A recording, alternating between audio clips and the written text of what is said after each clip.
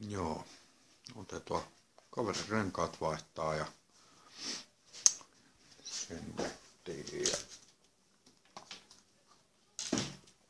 nyt aletaan sitten striimailla tota, että jos kiinnostaa tulla kattelemaan tota Twitchiin, niin samalla nimellä löytyy kanava sieltä. Niin, ja striimiohjelmana käytetään tuommoista Open Broadcaster softwarea ja joo, eli tähtien sota striimiä kohta ja juodaan vähän sumppaa ennen kuin aloitellaan, niin sumppana toimii kultakatriina tumma paahto.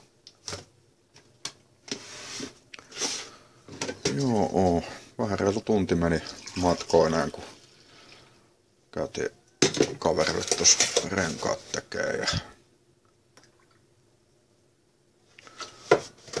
Joo.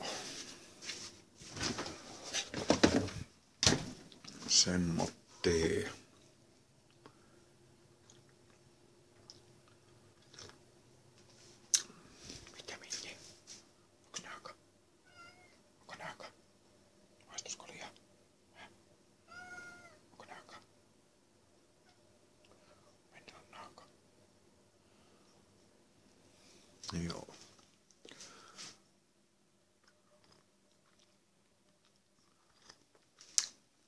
Mutta ei siinä muuta, niin viikonloppuja taas kaikille ja se on moro.